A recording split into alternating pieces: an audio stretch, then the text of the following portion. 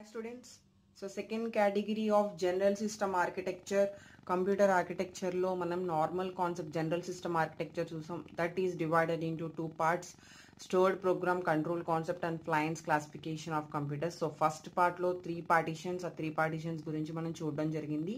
So the next part Flynn's classification of computers Again, Flynn's classification of computers is divided into four parts the four parts నేను ఇక్కడ mention చేశాను. So first of all what is Flynn's classification of computers అనేది మనం చూద్దాము. అయితే ప్రీవియస్గా మనం van Neumann architecture చూసాము స్టోర్ ప్రోగ్రామ్ కంట్రోల్ కాన్సెప్ట్లో త్రీ థింగ్స్ చూసాము.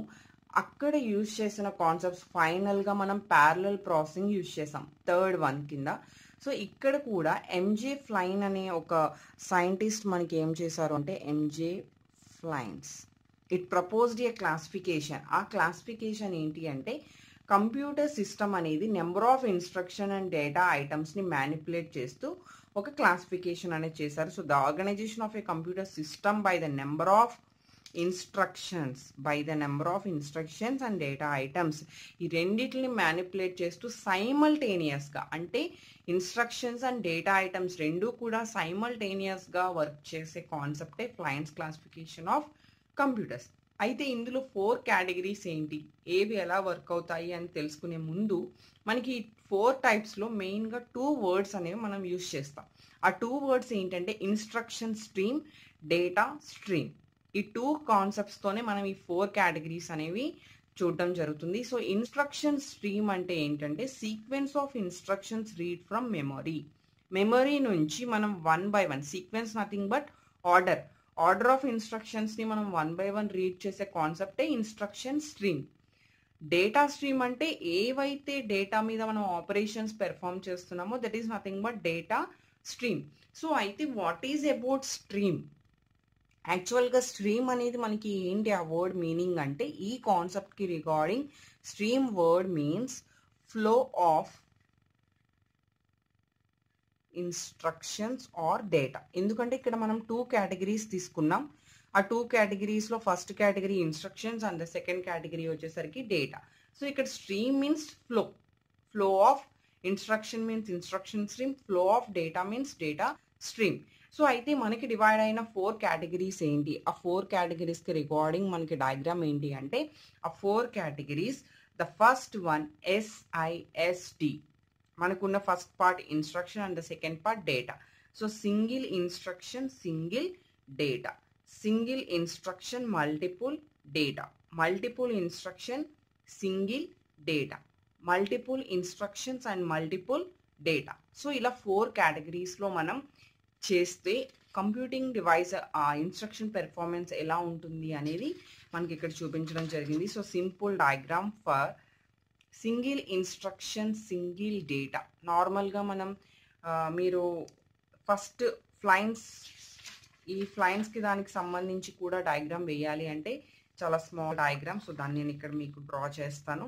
ఒకవేళ మీరు డ్రా చేయాలి అనుకుంటే అది కూడా డ్రా చేయొచ్చు. అయితే ఇక్కడ ఏంటి అంటే SISD single instruction single data single instruction multiple data and multiple instruction single data and multiple instruction multiple data so ఇలా మనం ఇట్ సైడ్ అన్నీ వచ్చేసరికి instruction streams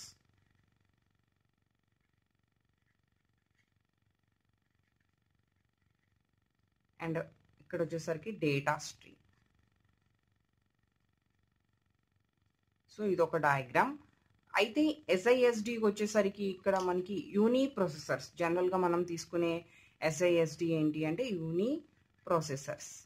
And single instruction multiple data వచ్చేసరికి vector processors and parallel processings. ఈ రెండు కూడా single instruction and multiple data. Next multiple instruction single data వచ్చేసరికి pipelined computers.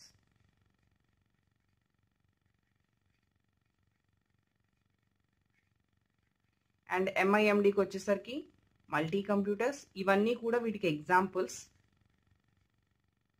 Multi computers and multi processors so ఇవి వీటికి సంబంధించిన examples. అయితే next SISD first category మనం చెప్పుకున్నాం single instruction single data. So single instruction single data అంటే ఏముంటంటే సింపుల్గా మనకి ఇన్స్ట్రక్టన్ స్ట్రీ ఇన్స్ట్రక్షన్ స్ట్రీమ్ అనేది ఒకటే ఉంటుంది. డేటా స్ట్రీమ్ అనేది కూడా ఒకటే ఉంటుంది. అదే మనకి మీనింగ్లో single instruction single data. So only one instruction and one data streams. A single computer containing a control unit a processing unit and a memory unit. ఇందులో మనం మెయిన్గా చూసే త్రీ థింగ్స్ ఏంటి అంటే control unit memory unit and processing unit. That is ALU okay? So దాన్నే మనం ఇక్కడ ఏం చెప్తాము అంటే processing element is nothing but P అని చెప్పి మెన్షన్ చేస్తాం. So that is processing. అయితే ఇక్కడ ఇన్పుట్ అవుట్పుట్ నుంచి మనం మెన్షన్ చేస్తున్నాం. సో ఇన్పుట్ అవుట్పుట్ నుంచి మనకి ఇన్పుట్ వస్తుంది అండ్ అవుట్పుట్ వెళ్తుంది. ఈ స్ట్రీమ్ నుంచి అనుకుందాం. Next control unit and processing యూనిట్కి మనం సెండ్ చేస్తున్నాం. ఫ్రమ్ ఇన్పుట్ అవుట్పుట్ నుంచి కంట్రోల్ యూనిట్కి ప్రాసెసింగ్ యూనిట్కి సెండ్ చేసిన తర్వాత మెమొరీ నుంచి ఇన్స్ట్రక్షన్స్ తీసుకుంటుంది డేటా మీద ప్రాసెసింగ్ చేస్తుంది. Because one control unit one processing unit అనేది ఒక స్ట్రీమ్ కింద మెమొరీ నుంచి ఇన్స్ట్రక్షన్స్ పాస్ చేస్తూ ఇచ్చిన మెమొరీలో ఇచ్చిన డేటా మీద మనం ఆపరేషన్స్ పెర్ఫామ్ చేస్తూ ఒకే ప్రాసెసింగ్ మీద. ఇక్కడ ఎన్ని ప్రాసెసింగ్ ఎలిమెంట్స్ ఉన్నాయి? Only one processing element. So that is single instruction single data means only a control unit a processing unit and a memory unit. Only one one one. So అంటే ఒకే processor ఒకే control unit అలా one time మాత్రం మనం all operations perform చేస్తూ వెళ్తాం. So that is single instruction and single data. So the next category single instruction multiple data single instruction multiple data means ఇక్కడ మీరు అబ్జర్వ్ చేస్తే instruction single single instruction but what multiple multiple data streams so here memory memory అనేది మనం multiple data items తీసుకున్నాం.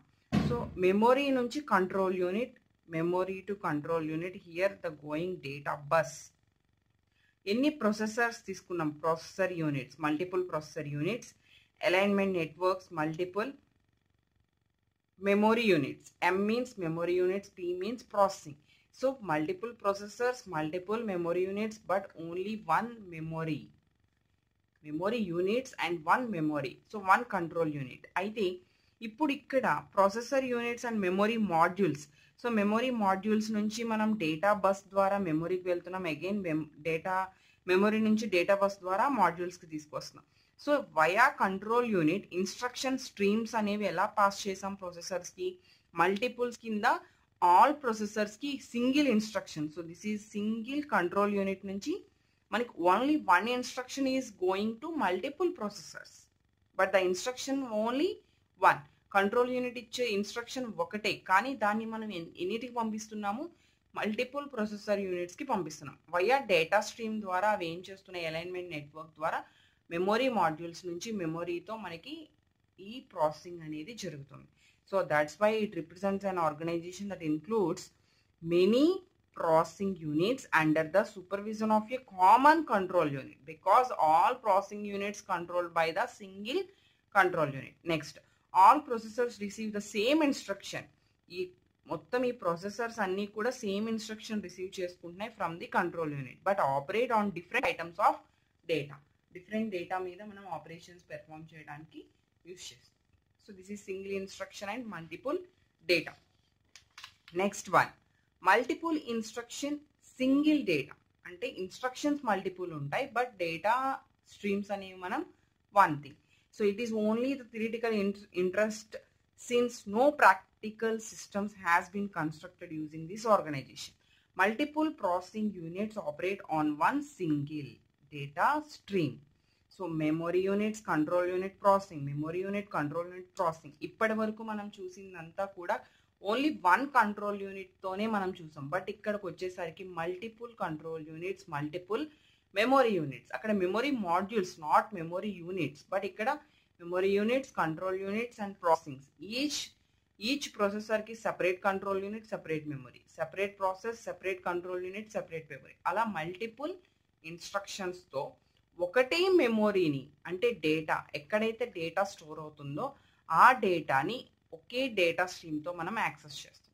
So these are instruction streams these is only one data stream that is multiple instruction single data stream the next one multiple instructions multiple data అంటే memory module processing control unit memory memory module processing unit control unit again memory module processing unit control unit so each and everything is multiple multiple multiple okay so all processors in a parallel computer can execute different instructions and operate on various data at the same time ఒకే టైంలో different instructions different data each processor has a separate program each processor has a separate program and instruction stream is generated from the each program so this is interconnection network ఇవన్నీ కూడా మనం ప్యారలల్గా ఒకేసారి perform చేయాలి multiple instructions and multiple data అంటే మనకి డెఫినెట్గా internet connection network is need so that is multiple instructions